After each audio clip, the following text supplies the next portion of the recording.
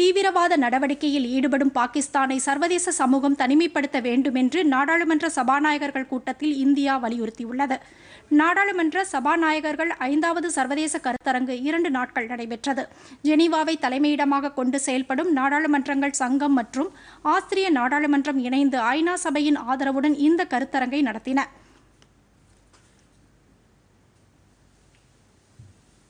தீவிரவாதம் மற்றும் வன்முறை பயங்கரவாத ஒழிப்பு என்ற தலைப்பில் நடைபெற்ற இந்த கருத்தரங்கில் மக்களவை சபாநாயகர் ஓம் பிர்லா தலைமையில் இந்த குழு கலந்து கொண்டது. அப்போது பாகிஸ்தான் நாடாளுமன்ற சபாநாயகர் தெரிவித்த கருத்துக்கு பதிலளிக்கும் உரிமையின் அடிப்படையில் இந்திய தரப்பில் விளக்கம் அளிக்கப்பட்டது அதில் தீவிரவாதி ஒசாமா பின் லாடனை தியாகி என்று நாடாளுமன்றத்திலேயே பாகிஸ்தான் பிரதமர் பாராட்டியதாக தெரிவிக்கப்பட்டுள்ளது. தீவிரவாதத்தை மற்ற நாடுகளுக்கும் பரப்பும் வகையில் பாகிஸ்தான் செயல்படுவதாகவும் ஆறாயிரத்திற்கும் மேற்பட்ட பாகிஸ்தான் நாட்டவர்கள் தீவிரவாத செயல்களில் ஈடுபட்டுள்ளதாக ஐநா குழு குறிப்பிட்டுள்ளதாகவும் இந்தியா எடுத்துரைத்தது.